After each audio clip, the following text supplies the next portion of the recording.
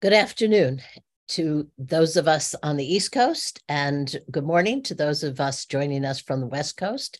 Um, and welcome to the Brookings Institution webinar on how younger voters will affect the future of American politics, a big and fascinating topic. Uh, my name is Elaine Kamarck. I'm a senior fellow here at the Brookings and editor of our blog called FixGov, where we try and bring the best scholarship available to contemporary issues of politics and government. Uh, thanks for joining us today. We have a very distinguished panel to speak with you, and they will offer a great deal of interesting data to save time, we've listed a series of links to this event page, which you will be able to see at the end of this webinar. So you can link to them for more information and for um, actual PowerPoints. In addition, I want to remind everyone that you can send questions to events at brookings.edu or via Twitter at, at brookingsgov by using uh, hashtag younger voters with that, uh, let me get started and, and explain where this came from. A few months ago, Mike Hais, Morley Winograd, and Doug Ross penned a piece for our FixGov blog titled Younger Voters Are Poised to Upend American Politics. The piece hit a nerve, and we received a lot of positive feedback and more and more questions. So we decided to do an entire series on this topic, following the first piece with pieces on young evangelical voters, younger voters, and social media younger voters and their behavior as consumers in the marketplace, uh, younger voters and their impact on the gender gap, younger voters in the two political parties and how they differ, and many others. You can find the articles in this series on the Brookings site at How Younger Voters Will Impact Elections. Today, we have with us a panel of three scholars and two activists in this area. We'll begin, and I'm going to introduce them all now so we can then move through opening statements um, pretty quickly. We'll begin with Mike Hais. Mike is the former president of research at Frank N. Magid Associates. Some years ago now, Mike and his co author, Morley Winograd, wrote a book called Millennial Makeover, identifying the large, large generation at, of young people at that time who came of age in time to vote for Barack Obama. Since then, they have been leading researchers on young voters, even though, frankly, they are old enough to be the grandparents of the people that they study and promote. Um, then I'm going to call on Dr. Kay Kawashima Ginsburg, the Newhouse Director of Circle at the Jonathan Tisch College of Civic Life at Tufts University where she oversees a wide portfolio of research and impact programs involving young people. Circle was founded approximately 20 years ago and is one of the oldest organizing uh, oldest organizations looking at the impact of young people and their involvement in civic life. Next, we'll turn to Dr. Ray Block. He's an associate professor of political science and African American studies at Penn State, where he has published a lot of academic articles at the intersection of race and politics and even culture. After him, we'll go to another activist, Dakota Hall, Executive Director, Alliance for Youth Action, the nation's largest network of youth led organizations dedicated to building power year round. He cut his teeth as an organizer when he was at the University of Wisconsin. And last but certainly not least, our own Dr. Gabe Sanchez. He's a David Rubenstein Fellow here at Brookings and a professor at the University of New Mexico, as well as a principal at Latino Decisions, the nation's leading survey firm focused on the Latino electorate. His most recent book is being revised as we speak Latinos in the 2012 election, the new face of the American voter. So I want to start by going to Mike. Mike, give us some of the findings from your research on the young voters, going back to your first book on millennials. Thank you, Elaine. Well, as you mentioned, first of all, thank you for having me and thank you for giving me, Morley, and Doug an opportunity to contribute uh, to uh, the Brookings series. Um, as you mentioned, Morley and I have written a series of books, uh, wrote three actually, primarily about millennials, and millennial was in the title of all three of those. But since then, we've expanded our view to look at another younger generation that's coming along. Some people refer to them as Generation Z. We call them plurals, and that is because they are a remarkably diverse generation. There is no one ethnic majority or racial majority within that generation. They're the first um, majority minority generation in American history. And so, what we did in our series of articles that we wrote with Brookings is look at those two generations, the millennials and the plurals, and their impact on US politics. As it turns out, those two generations are 45 are under 45. And what we found in our research is that age 45 is truly now the under over line in American politics. Um, those under 45 are very distinctively different in their demographic composition, their partisanship, their political attitudes, and their media usage than voters who are over 45, who are primarily members of Generation X, the baby boom generation, and I have to say, sadly, my own generation, the silent generation. Um, so we have these this over underline where these two kind of competing forces in American politics are operating. And I just want to talk about some of the distinctive differences between those two generational um, settings. First of all, Americans, as is, this is reflected in this panel, under 45, are remarkably diverse in their ethnicity and their racial background. Plurals, as I mentioned, are the first majority minority generation that in, in American history. Millennials, 40% are either African American, Hispanic, of Asian American, Native American, or of mixed race. And as you go up the generational spectrum, you would find that about two thirds of Gen X, 75% or so of boomers, and 90% of silent generation are in fact white. So that's one distinctive difference. Another difference is the, religious background of these generational uh, cohorts. Uh, millennials and plurals are the least religious and the least Christian generations in American history.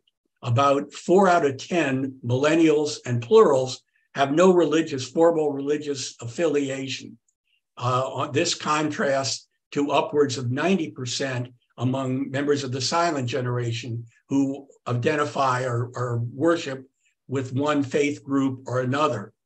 And increasingly, as you go up the generational scale, what you will find is more Christians within each group. So you have this difference as well.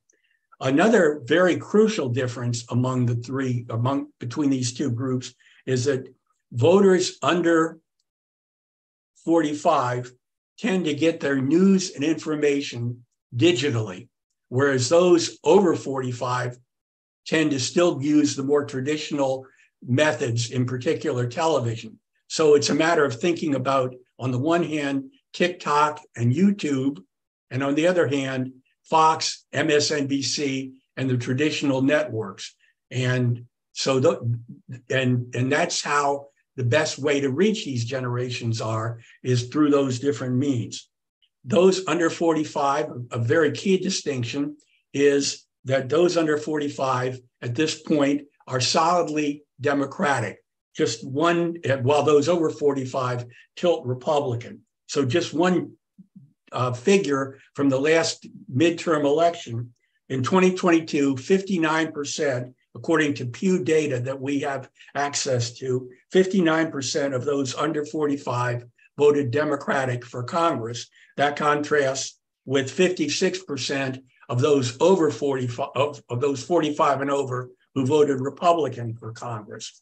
It also made a difference in the Senate races in five battleground states that would be Arizona, Georgia, um, New Hampshire, Nevada, and Pennsylvania. About two thirds of those under 45 voted for Democratic senatorial candidates, whereas by contrast, about 55% of those over 45 voted for Republican candidates. And for that reason, the Democrats won control of Congress. In um, Dakota state, actually the same thing occurred, but there were fewer num unfortunately more more older voters and uh, Mandela Barnes was not able to win, but he was able to contest the race very carefully, very closely.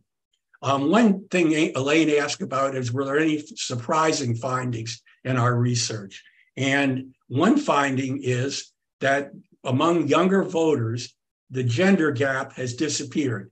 The gender gap kind of appeared in American politics in the 1980s when Ronald Reagan was first elected president. And for the first time, women and men began to vote differently. Women tending to vote more Democratic, men more Republican. What we found with the Pew data is that among white, African American, and Hispanic people under 45, there was no gender gap. Male, male and female, uh, males and females of those generations and those ethnic groups tended to vote Democratic in the same numbers. The generation gap continued among white and among Hispanic people, but not among younger voters. Um, in addition, the, gen, the generation gap, a, a, phrase that came about in the 1960s to describe the, the difference between younger voters who at that time were boomers and older voters, their parents who were members of the GI or greatest generation, differed in a variety of ways. But at least in the 2022 election, and in terms of attitudes, what we found was that younger and older Democrats, those who identified as Democrats, tended to hold the same positions on issues, tended to vote in the same direction as uh, as one another. By contrast, among older, among Republicans, there is a, gen, uh, a degeneration gap exists. Younger Republicans tend to be more moderate in their beliefs, particularly on attitudes on social issues. And they also voted to a greater extent than older Democrats, than older Republicans in the 2022 election for Democrats. About one out of 10 younger Republicans actually voted for a Democratic candidate for president. Uh, so that was another key and somewhat surprising thing. Um, so to conclude, I would simply say that we need to look at how this generation, these two generations are coming along in terms of the contribution they make to the US population and the US electorate. Uh, if they turn out in numbers consistent with their contribution to the population, millennials and plurals, those who are now under 45, will make up almost half of the electorate in 2024, about 49%. They will make up a majority of the electorate in 2028. So, any accounting of what's going to happen in US politics in the next uh, election and really in the next decade or two decades is going to have to depend on the growth of this generation, these two generations, and in the distinctive attitudes and uh, uh, media usage that they bring to the American political process. Thank you, Mike. That's great. And and I'm just laughing to myself. Those of you who are political scientists on this panel uh, know that in political science we have a, a gracious term. It's called uh, people who leave the electorate i.e., they die, to describe to describe this process of the electorate changing by generations, and it's one of the reasons we study generations. Um, I want to turn now to Kei, and Kei has a background in psychology, which I found was was really interesting and you, probably useful for this. And ask in your work um, with young people, how do young people get engaged in politics, and what, if anything, is different about younger generations and the way they come into the political process? Thank you. That's one of my favorite topic, um, especially because I focused on youth and adolescents, and I'm a mother of three school-age kids. So it's really relevant and current topic. Um, so the first thing I would say about how young people become engaged in politics is that not nearly enough pathways are available and accessible for young people to be involved in politics. And that's something the circle has continued to find over the years is that not only do young people vote at most half of the population in the youth electorate, but when you come to thinking about sort of how else young people are engaged in politics, oftentimes single digit percent of young people actually have access to those opportunities or they don't want to. Um, but what we find though then is that this framework that we suggested a year ago or maybe two now uh, called Growing Voters, which really aims to help people rethink what it means to engage and mobilize the electorate. And for us, it starts thinking developmentally about the electorate of young people who are increasingly diverse, gender diverse, not racially diverse. More queer young people are visible in the youth electorate. They are also economically divided. They are also precocious in terms of political engagement when they start. But that unique electorate needs different kinds of support than the previous generations the more diverse they are, the more diverse those pathways and entry points to political engagement needs to be. So with that, I want to point to maybe a handful of pathways that tend to be really uplifted when we study young people and their political entry points. First is really the earliest starting point, which is your family and socialization of values around talking about civic and political and current affairs in their community. It can start about right in the neighborhood who's picking up your garbage, who's keeping up with neighbors, and who's making sure they're showing up to the meetings and bringing issues that matter to that family or to the community. We find over and over that having dinner conversation at um, your family about political affairs has a predictive value for later civic engagement. So it's having friends who seem to be involved and engaged in issues around them. So that's an earlier socialization about value itself. Is it important? Do you matter? Should we care about what's going in a local community? And of course, when they start school, the key knowledge foundation is supposed to be built. Whereas currently not doing great in social studies education and making sure every student has access to great civic education so that they reach proficiency. Even looking at civic education, civic knowledge tests nationally in eighth grade, less than third, uh, about 21%, I think of uh, eighth graders actually reach proficiency in just a simple test of civic knowledge. So we have problem there.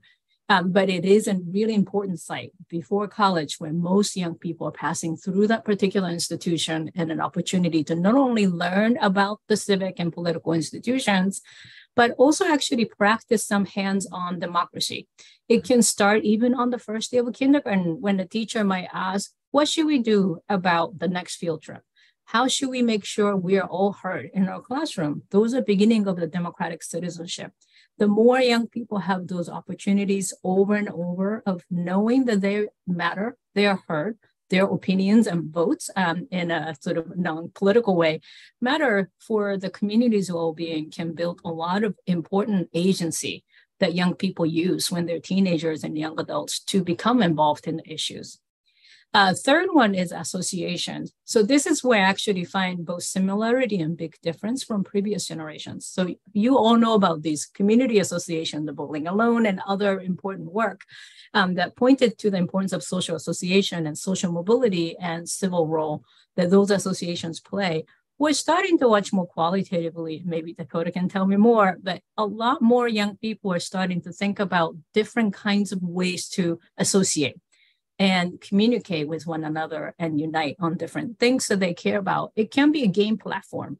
It can be a really informal group that meet still and have specific role and discuss many topics that include community and political issues.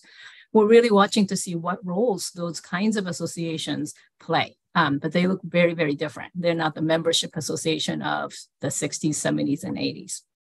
Um, finally, I want to mention that um, something that Dr. Hais mentioned, which is social media and how young people consume and then utilize media as mobili- uh, mobilization tool for social action. We find over and over that traditional news outlet can provide really great information, but young people often need somebody to mediate that. So information alone is not enough to mobilize action. But when these groups like social associations, informal groups, classroom come into play, young people need somebody to process information with, think about what they should do, and then decide what they can actually do within their own capacity. They could be very young, they could be very limited in different ways, but what can they actually do? And that's what mobilizes action. So, because of that, young people do tend to get media and information from alternative sources, oftentimes through their friends that they trust or family members. We find that with the youngest voters, those are the most common sources of election information. And that will continue to be the case because they're overwhelmed for the most part by such a sea of information that's bombarding them all the time. In terms of issues, though, um, I think Dr. Hais also mentioned the issue is entry point. Young people really continue to care deeply about economic issues, both for their own families and community and themselves, but also uh, economic equality. So they tend to really emphasize how economic issues overlay many specific issues, whether it's racial justice issues or climate justice or gun violence prevention. Those issues they care about are often intersected with economic inequality and racial injustice. So the way that people think about issues these days, we have to uh, we had to change the way we ask about issues of young people because they would often mention, well, I care like about seven issues. So we often now ask, what are your top three issues that you care about? Because they really live and kind of activate through these intersectional identity that represent this generation. So I'll wrap here. Thanks.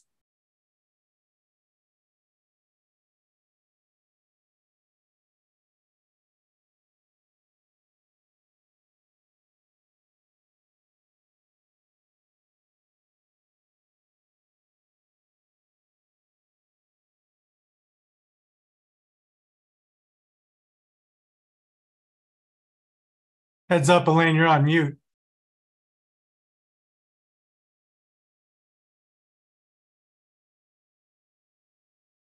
Um, um uh, let me start that all over again. Um, Ray, I want to go to you. I know you've just finished a major study of African American political engagement, emphasizing the role of culture and art in both public narratives and electoral campaigns.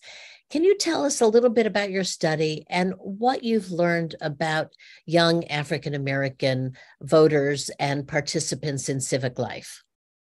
Okay, this is great. I always love the opportunity to do things like this and to, whenever possible, just give credit to young people for being amazing and obviously being the future of politics. And so I want to give a little bit of background in terms of how I got into this work. And I think this is important because it jumps into answering the question.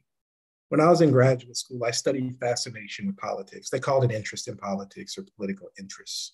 And at the time, I had noticed there was a race gap in terms of how interested people would say they are on surveys.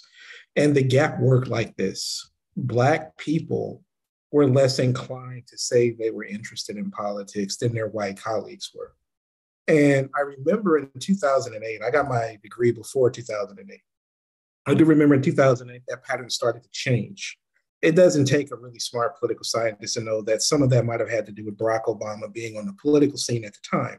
And the interest gap started to shift. And in some instances, it was disappearing among certain groups of people. And that really got me thinking about it. So, like, the colloquial way of thinking about this is if interest in politics is your way of studying if people pay attention to what's going on in government, I think that people pay attention to what's going on in government when they believe that government is paying attention to them. And the idea that you need to engage people so that they feel like they're connected to the thing that you want them to be politically involved in is very important. That general idea is the reason why I do a lot of what I call community engaged and applied research. And so, as a political scientist, I do a lot of quantitative work. But the most rewarding work that I've been doing lately is the qualitative stuff, where I work with members of youth groups and I listen to their needs and hear the things that they care about in their voice and get a chance to think about how they bring conversations about politics into their context and translate those things so that they are interesting to people. And I would say that if it's in terms of thinking about how this works, I've been looking lately at how viewing politics from the lens of culture, I put that put that in air quotes, right? Where culture can be entertainment, pop culture, acting, comics, dance, film, food, music, TV, theater, you name it, visual arts, architecture, fashion, you name it, right? viewing politics from that lens is very useful. One thing it can do is it can nurture a relationship between a young person's civic identity and their civic action. And I've seen that happen in real time in some of the recent projects that I've been lucky enough to be involved in. And so, what does that research say? Several case studies that I've worked on and had the opportunity to be in looked at how youth led community organizations emphasize the role of politics and use the lens of art and culture to do so. And that research suggests that we need to respect youth activism. And I feel like a lot of energy around how we frame youth activism needs to shift. And this is stuff that both Michael and Kei talked about. But it's this idea that there's a tendency to view young people as somehow falling short of older generations and some kind of comparison between the two. Or there's a tendency to talk about young people as being the victims of political decisions that were made without their input. And I want to add to those framings the idea that young people have a lot of political agency, and young people can be really effective in getting things that they care about done in politics and affecting social change. And one of the ways that that can happen is by bringing politics to them through the use of art and culture. And I've seen youth led community organizations do just that. And there's a reciprocal nature to this. I talked about civic identity and civic activism, and they go together. And so I can, as an anecdote, I became politically involved because somebody invited me to a voting drive, and I registered people at a community college. I didn't care much about politics, but being invited in and having that part of me nurtured created future investment in me to be politically involved. And some of the organizations that I was lucky enough to interview participants of and members of talked about this process that way, where the civic identity that was nurtured from being a part of a youth led community organization focused on social change actually created a strong sense of civic identity that nurtured future political activism down the road. And so I'm going to stop there because I feel like a lot of what I'm talking about if I can predict are going to be the kind of things that Dakota's going to be speaking on too.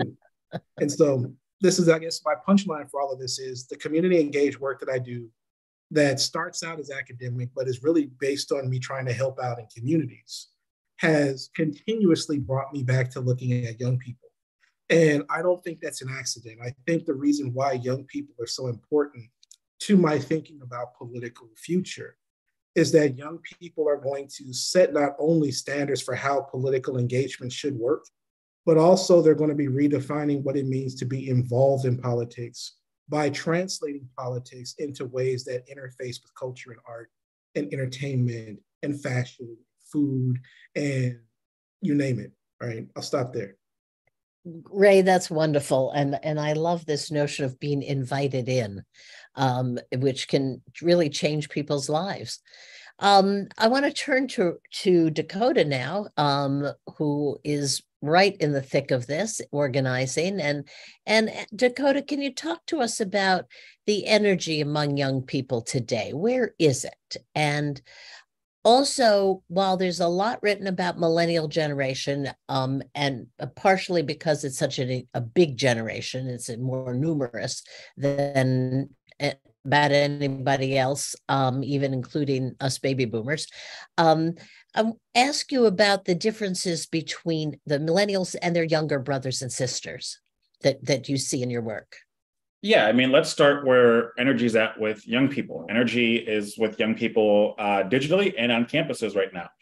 Um, you're right, when you think about the Gen Z and millennial um, populations, they are both digital native generations, um, with Gen Z being a full generation of digital natives at, at, this current moment because they've grown up in society where there's not been nothing but digital. Um, and then the generations after them, the alphas and the betas, will be even more ingrained into the digital atmosphere, especially including with artificial um, uh, intelligence and AI in the future as well. We go there. And campuses, we know that young people had to take significant amount of time away from in school activities, right? And now that um, almost every single campus in this country is back to in person learning after the pandemic, we see a rise of activism on each and every campus where they're now going back into what they've, um, to the environments that they're used to. They've taken a lot of knowledge that they gained digitally through different programs, different activism, etc. right? Most young people are either commenting or learning about the news. Over 50% of them at this point are commenting at least almost once a week on political news, right? They're getting that into their feeds on TikTok, on Instagram Reels, right? And we think about social media. Um, you know, we're not necessarily talking about Facebook or something like that at this point, um, at, at this moment. Like we're thinking more so Snapchat, Twitch, TikTok, Instagram is like where you're going to find most young people. Facebook is a platform for mostly older generation at this moment. And so like that's where you're going to find young people at, right? Like that's where the energy is at. That's where political activism is happening in this current moment with young people. They're doing so much and and and the information is literally at their fingertips when I think when you think about how to access the news. They're not waiting until 6 p.m. when the nightly talk show's on. They're not waiting for the paper the next day. They're getting news instantly on these different platforms, essentially. Um, and so that creates a different gen- different type of generation when information is at their fingertips, where they're no longer waiting to be told what is happening. They can actively go out and search it, right? And so that is where energy is at right now. And when you think about the difference between millennials and whether you call them Gen Zs or plurals, I think an important distinction in this current moment is that millennials are getting old. They're no longer becoming, they're no longer the young voters that we thought of them eight years ago, right? Like some millennials are in their late 30s at this moment, right? They are no longer the young, spunky kids. They are they're dealing with knee problems and hip problems at this current moment. They are not who we think they are, right? And so we have to recognize that we are ushering in a new generation, the Gen Z, the plurals, who are going to be considered the young voters, and after them, the Gen Alphas. And so when you think about that, when I think about the younger generation, right, like you think about some of the values that they have, right? Like you're thinking about valuing authenticity. They've grown up in a time period of their life where they've only necessarily seen bad things happen, right? Like these are folks who are necessarily grown. They saw 9 11 happen. They saw the Great Recession happen. They saw the rise of the pandemic. They've lived through so much before even becoming a voting age that they need authenticity from their leaders right? They also have a different outlook on life because they're entering into a job economy that has only probably been bad for them in this current moment right? Like they saw their their older brothers cousins etc struggle with the financial recession of 2018 they may not understand it but they're as they get into the workforce now they understand what happened there right? They saw the ups and downs and they see what is probably some of the worst economic disparities in our country's histories between those of the working class and those in the billionaire class at this current moment um, we also see more attention and energy put into healthcare uh, and mental health resources amongst young people, right? The mutual aid organizing has grown significantly in this country. Um, and we also see that their ability to adapt to a digital world is so much greater, right? Like they have the ability to pick up a phone or a tablet at the age of two or three and automatically understand and be able to open apps and work them at a pace in which like is almost on par with some adults, right? And so as we move forward and think and like looking ahead about like how do we bridge this gap of like leadership right like you have this this conglomerate of two generations millennials and gen z's who are going to be of the largest voting bloc this country is going to probably see in a very long time, right? And we also are seeing the ushering out of an older generation who is phasing out of being a part of the voting community, right? And so, what does that mean in terms of values? We know that every almost every study and every poll that comes out talks about what issues are important to young people. We see them focus on climate change and the environment. We see them focusing on racial and social justice. And we also see the rise of abortion access and care in this current moment right? And so we think about energy where young people are at is they're they're building organizations they're building civic um, communities and clubs inside of high schools, inside of colleges that are really focusing on these issues across the country, right? And it's not just in major like states or you know what have you, but there's energy in every state right now, right? We have a scope within our organization across 19 different states, but almost every week a new state is reaching out to us, whether it's Idaho or Alabama or Louisiana or places that we don't necessarily think of young people who are doing um, civic engagement work they really are. And so um, right now i would say the energy is, is is all over the place right? And it's and it's really focusing on these three particular issues in this moment that we're working on. And then as far as the characteristics, it's really we have to understand that the young generation right now is a different generation than millennials, right? They're going to be they're I think they're a little bit more bold in terms of what they expect um, from workplaces. They're a little bit more bold in terms of what they expect this country can be. Um, and every generation seemingly follows this trend where we continuously push society forward just marginally, inch by inch by inch. And I think because of the experiences that Gen Z and those after them have now have gone through, they are no longer willing to accept marginal change in this moment. They are looking for transformational change across this country um, and are not satisfied unless there is big sweeping changes in terms of the economy and, and change of democracy.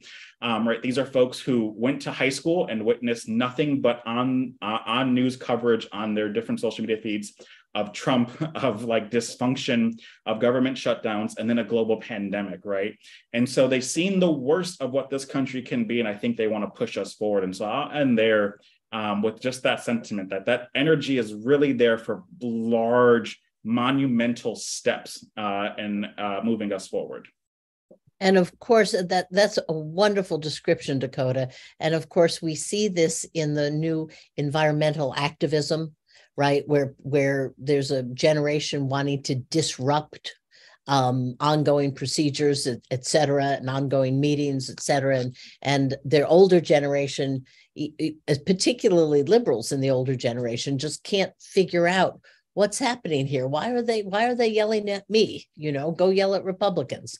And I I think you've you've really hit on something with this being sick of of marginal change. Um, last, but certainly not least, is my friend Gabe. You wrote a great series for a great piece for our series on young Hispanic voters. Can you talk about that? Because Hispanics are such a large and growing piece of the United States electorate, and perhaps give us some thoughts on what you've heard so far before we open go over to media um, audience questions. Yeah, I appreciate that, Elaine. Thanks for engaging me in this rock star panel. You know, I've got the, I guess, the fortunate opportunity to come after all these great insights that we've already heard. So, in many cases, I'm going to reinforce what a lot of my colleagues have referenced, but really shed a light specifically on the Latino electorate. And I often say, as a scholar of Latino politics, by definition, given the demographics of the Latino electorate, I'm talking about youth voters. Um, right. And so just to, to put a sharper edge on, on that sword, you know, when we think about population growth across the electorate, Latinos since 2018 have grown by almost 5 million eligible voters. That represents 62% of the overall growth of the electorate in the United States over that time period. So, just as you noted, Elaine, Latinos are an increasing important segment of the overall electorate simply because of their age. Obviously, the growth of young US born Latinos is fueling that population growth uh, of the Latino population and their projected influence. But I often talk about it in terms of a double edged sword of age and youthfulness. On one side, it fuels the potential influence of the Hispanic Latino electorate, but because of all of my colleagues noting the largely lack of mobilization rates, young voters tend to not participate in electoral politics at the same rate as, as the older segments of the population. So that obviously influences Latinos' overall, you know, impact uh, or influence on, on policy outcomes, et cetera. Give you a snapshot of what that means for Latino politics. Almost a third, 31% of all Latino eligible voters um, right now are between the ages of 18 and 29, so under 30. That's roughly 10% higher than the overall electorate. So it really is a very young population. Um, what that means in terms of thinking about potential uh, turnout and voting behavior is that, uh, in essence, my, my colleagues and I am no longer at the firm Latino Decisions, but my, my colleagues and I at BSP Research have been tracking Latino voting trends since 2020. And one of the things that we found is a robust 56% of all Latinos under the age of 30 voted for the first time in either 2020 or 2022. So they're very new to the electorate. They're still getting used to the system, how you go about voting. Remember, they had an election in 2020, what opened up access to mail ballots that are not in play anymore in 2022. So it's a quickly changing electoral space that these young voters are just coming into contact with for the first time. So they need more outreach. They need more information. They need more direct mobilization, whether that comes from parties, candidates, nonprofits, etc. But unfortunately, we know Latinos overall as an electorate tend to be the least mobilized population in the United States, and young Latino voters, just like young voters overall, are less likely to be mobilized by any of those different segments of our overall electoral system. Um, a lot of focus group work I did with BSP Research, my team, and Equis Labs really looked at young Latino eligible voters who did not turn out in 2022. And one of the things that we found that reinforces what we've heard from others is primarily due to low mobilization rates. A, a, lot of those young voters, as Dakota noted, hungry for reform, want to see things change in their country, but they don't see how voting influences any of those reform minded outcomes. So I think that mobilization has to stress here's how voting and your engagement in that process can lead to structural reform and change. Because a lot of these folks, as Dakota has noted, have lived through an era where there's not a lot of great examples to show widespread turnout has led to these great changes that you want to see happen. So we all have to be mindful of that. The lived experience of these young voters has not provided them with a lot of great examples of the system actually working for issues that they care about. Um, when we look at um, overall turnout and, and voting behavior trends, just a few points that I want to emphasize from some of the blog posts that we put out on Brookings specific to the Hispanic or Latino electorate. Just as Michael started with overall, um, young Latinos, just like young voters overall, are more likely to trend democratically. Um, our data said in 2022, 68% of Latinos 18 to 29 or under 30, if you want to think about that, indicated that um, they supported a Democratic congressional uh, candidate in 2022. That's higher than all other age segments among Latinos. So very much they are fueling, you know, Democratic strength, if you think about it that way, among Latinos overall. Uh, but a couple of really interesting nuances to point out about young Latinos that might um, lead to some speculation that that high point for Democrats might not always be there for Democrats unless they work harder uh, for the Latino electorate vote, particularly those folks under the age of 30. Uh, one thing to point out is, although Michael is right that the gender gap overall is diminishing in the United States, that holds true for, for Latinos overall as an electorate. But when we isolate Latinos under the age of 30, the gender gap still remains really significant. Um, one data point for you from the 2022 numbers. While 40% of Latino males under the age of 30 indicated they voted for a Republican congressional candidate in 2022, uh, that compares to only 21% among Latinas. So there's still a pretty significant, almost 20% gap between Latinos based on gender. And so that is really important for us to think about in terms of the importance that Latinas play, uh, primarily to Democratic candidates moving forward as we think about 2024. So we have to think about their turnout. What's going to make them enthusiastic uh, to participate in the electoral system, particularly on the Democratic side, if they're interested in maintaining the advantages that they saw in 2022 among Latinos. Um, also, thing to think about, right? Although Democrats have had an advantage among young Latino voters, keep in mind a lot of these folks brand new to thinking about electoral politics they're still formulating their opinions towards both parties and as a consequence of that i'd say the relationship with the democratic or republican party among young latinos is very new and very open to shifting right? A couple data points to throw at you to reinforce that trend. When we specifically look at Latinos under the age of 30 and we ask them in surveys, you know, what are your attitudes towards either the Democratic or Republican Party? 37% of Latinos under the age of 30 indicate they don't think that the Democratic really cares all that much about Latinos and the policy issues that they care about. So again, relatively high support for Democratic candidates, but not exactly a strong underlying ideological relationship with the Democratic Party among Latinos. Uh, flip side of that is when we ask folks about the Republican Party, young Latino voters are more likely than the older segments of our population to have positive attitudes towards Republicans, right? So again, it's it's a wake up call, uh, call, if you will, for both parties that although things are trending positively towards Democrats. I would not say that's a that's a finished story.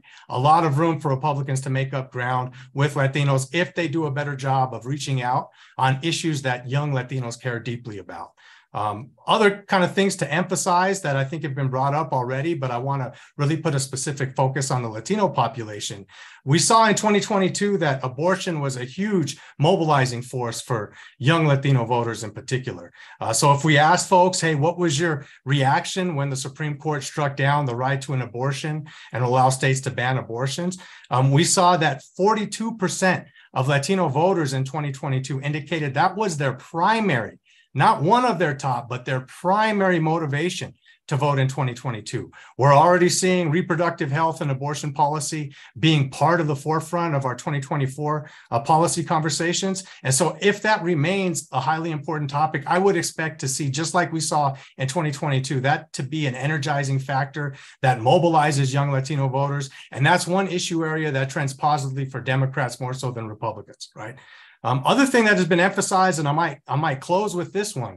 Um, everybody has noted social media use among young voters is much higher than it is among those of us that are a little bit older um, across the electorate. One thing to pay close attention to: Latinos as a population overall are more likely than anybody else to rely on social media for their political information, and young Latinos, just like young voters across the board, more likely to turn to digital information uh, when they're thinking about politics and policy. One thing that has not been brought up before is unfortunately the potential for misinformation to get in the way of enthusiasm, turnout, and wise voting choices among young voters. Latinos, more so than any other population in the United States, are likely to be targeted by misinformation. That's primarily because of a lack of safeguards and checks in that system, specifically in Spanish language content. So, as long as Latinos are more likely than anybody else to be hit with misinformation. And as long as young Latinos are more likely than anybody else to turn to social media for the information that they utilize to make sound voting decisions, we all have to be concerned with misinformation tactics and try to all be helpful in the process of correcting that misinformation with accurate fact based um, info that we know young people are going to turn to digital information to get their, their content. So we need to be mindful of trying to overcome misinformation with fact driven info, specifically coming at them digitally through social media. So again, I had the benefit of, of listening uh, closely to all of my colleagues who already hit on some of the points. So hopefully I leave enough time for, for Q&A from folks in the audience. Thank you. Great. Thank you. Thank you so much, Gabe. And I, I remind the audience um, if you want to send in questions, now is the time. Many of you sent in questions ahead of time, and I do have two of the more interesting ones. Um, we have seen in this discussion some pretty sharp differences drawn, particularly between the over 45 and the younger 45 year olds in the American electorate. Um, but someone asked, and I think it's a really good question how likely are Gen Z voters to change their political beliefs as they age? And I would I would extend that to millennial voters um, as well. Um, Mike, you have studied this. There's a lot of political science on this. Can you talk a little bit about this, and then perhaps anybody else who wants to get in there can add their thoughts? Sure. Thanks, Elaine. Um, generally, political attitudes, and maybe the most important one, party identification, tend to be formed by young people in their late teens through their 20s. Uh, part of it is influence from parents, but part, and part of it is the political events going on around them. Part of it is, uh, in fact, a, a Pew study indicated the perceived lack of success or success of a president who is serving as these formative years are occurring. Um, these attitudes take time to form. And as Gabe pointed out, it's the period in the late teens and 20s that things are most in flux. But already, even at that point, young people have begun to form partisan uh, affiliations. Many of them may identify initially as independents, but they lean toward one party or another. But once the attitudes are formed and once people begin to use them in their in their political behavior and their voting, they tend to firm up pretty consistently.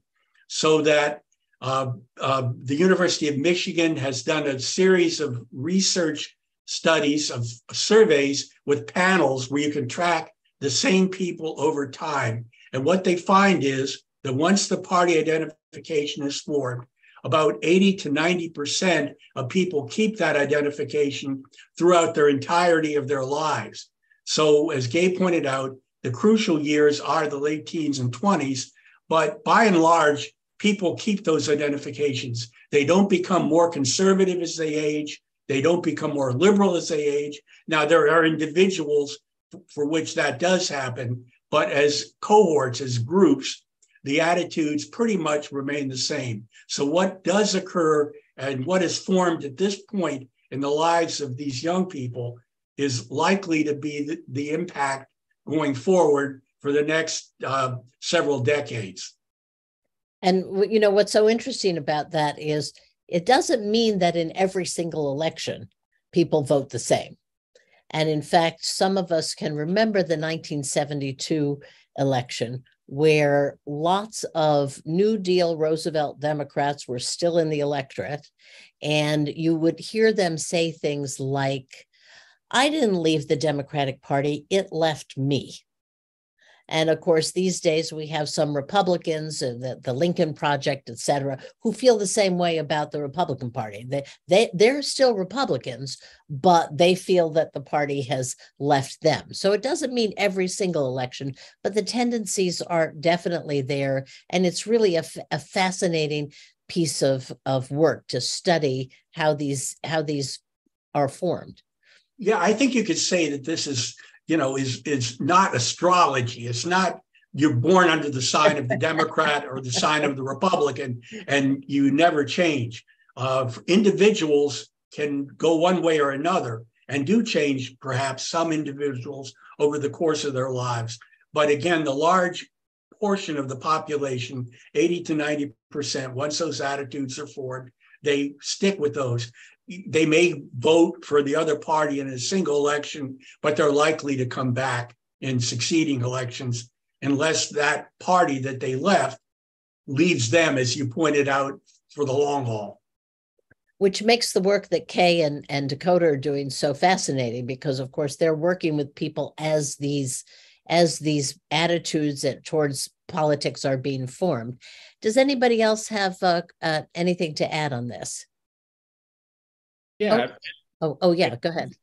I'll add in like I, you know, Gen Z are very much um, motivated by their social beliefs that tie into their political beliefs, right? And so, a generation that is so big on equity and identity is probably going to have a harder time shifting in any direction to any party that does not welcome that, right? And I think what we're seeing from the far right is a rejection of many of the identities in which Gen Z um, is a part of, right? And so I think this, like, typically, you know, historically perspective, some people do transition into a different party. I just think in this current climate that has been so polarizing since 2008, that it is almost like you're going to see that shift in a trend of people shifting their parties or feeling their party left them behind because it is so stark now that there is no middle ground, right? For folks to, uh, especially Gen Z, who's like so big in identity, more so than an like economics or something else, that it's going to be hard to, I think, see that shift in like 50 years when they are then the older voters. That's right. Fascinating. Um, and believe me, there's a lot of Republicans who are very worried about exactly what you're talking about, Dakota. Um, anything else? Because I have a, another question. Yeah, Gabe. I'll jump in really, really briefly, maybe to raise a provocative uh, question and follow up. Uh, I think Michael's dead on in terms of what we know from the political science literature. One of the things that's a multi-million dollar question, right, that we don't quite know the answer to, is given that these young voters are coming into an age where we're more partisan polarized than ever before in history. We're seeing a lot in the data that's turning these young folks off to party politics.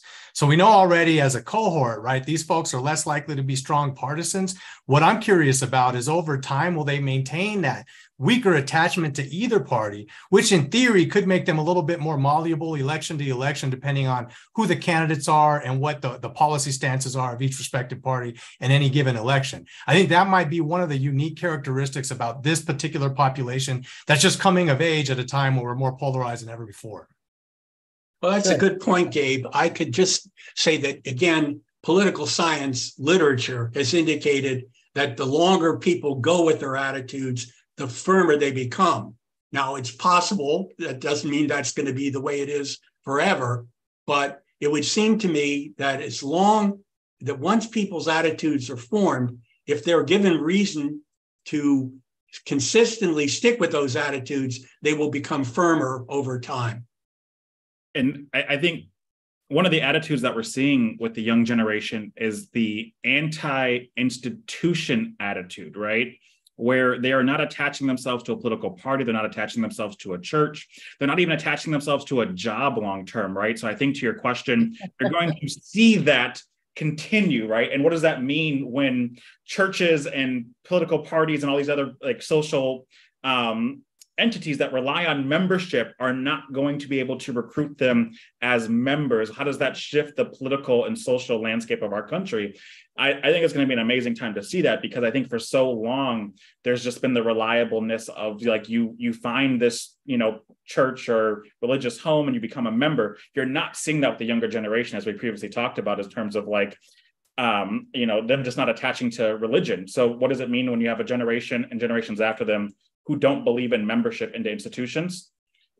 Mm-hmm. That's right. Sure. Um, Ray, did you have anything? And then Kei, I'll ask you. Go ahead, Ray. I just keep thinking about how young voters and the electoral potential of young voters is forcing us to think about the possible decoupling of political orientation with policy preferences. In other words, like it's not enough to say that if a person is identified as a Democrat or a Republican, you know how they feel about policy X, Y, and Z.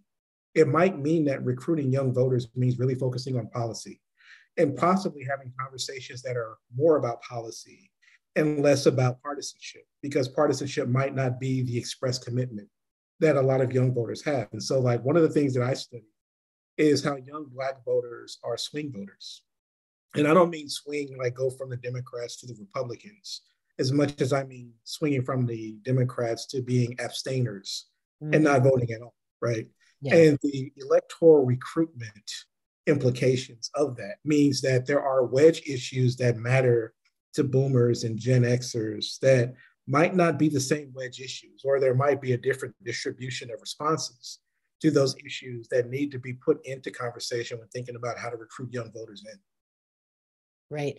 Kei, any any final words on this, and then we'll go to a quick last question. Real quick, I tend to agree that kind of the equation of who and where and how much young people start to vote as they age is changing. But I think it's in part what Dakota is saying about kind of detachment of association and institution goes both ways. I think that institutions haven't been serving this increasingly diverse multiracial electorate. So if the young people with older adults can actually shift how the institutions respond to American people, I think this will come back to a more stable electorate and maybe more attachment to partisan politics in a way that's membership oriented. But until the institutions can come back, I think we will not see that kind of attachment increasing over time. But young people can change that together. Okay, one final question also came from the audience, and I think it's a really good question given the discussion today.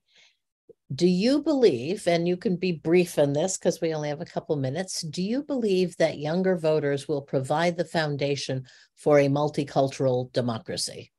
Why we, why we start with Dakota and go around? Um, well, I, I, I think as the in terms of the data that I had presented, um, it's almost inevitable in a way, as long as the attitudes remain firm. This these younger this younger two younger generations are in fact very diverse, um, multicultural in comparison to the older generations. And as Dakota pointed out, their attitudes go right in those directions. I just want to emphasize that what Dakota said in terms of issue identification with a political party. It, it, it behooves the political parties to match up with the beliefs of these younger voters. And, in the, and it's really in the best interest of one or the other of the parties doing that. But in answer to your question, yes, I do believe that this these two younger generations will indeed have the uh, possibility and the really probability of moving toward a multicultural democracy based on their demographics and their beliefs. Okay, let's go Kei, Gabe, Ray, and Dakota. And then we'll we will put an end. Yes, and I would actually add the capacity for intergenerational collaboration is really ripe to be tapped, I think, um, as we move forward. And I yield the floor. Okay, Gabe? You know, I certainly hope so. I mean, our, our democracy is in serious trouble. And so I certainly hope these younger generations uh, can help reinforce and sustain our democracy well into the future. But I will say, uh, those of us, and I'll say, depending on how you cut age, if we're at the 45, I still count towards the younger electorate, which I love that cutoff for that reason. But I think we have to be, as older folks, comfortable with the fact that as these folks take a stab at at reforming our democracy, it might not look the way that it was when we grew up. And hey, that might not necessarily be a bad thing. We see that all the time, Ray? I was just going to say what Gabe said. It's this idea that, yes, we are concerned enough for the preservation of our democracy that we have to do something. Young people are best positioned to do something. We've seen this before, and there's always the argument between what the older generations prefer and what the new generations are doing. But in service of keeping democracy going, we have to yield to young people and let them do their thing. Dakota, final word. Yes, and they're already doing it. When you look locally, they're electing some of the most diverse school boards, city councils, and county boards in our country's history. It is not a matter of if they will do it, it is when they do it to scale nationally. Perfect. Thank you for all of you for being so concise. Let me remind the audience that there's a, a lot of information here, but um, once we go off, if you go to the event page, you'll see links to everybody's work and organizations, and you'll be able to, you know, answer some things that perhaps we didn't do online here because in the interest of time. Um, I want to thank Mike, our representative of the silent generation here, for your research and fascination with young people. I want to thank Kei and Dakota for, for working in the trenches and, and getting young people involved in politics and civics. I want to thank Gabe and Ray for your research, which is so valuable to us in these bigger questions. And to everyone who joined us, thank you so much and have a nice day.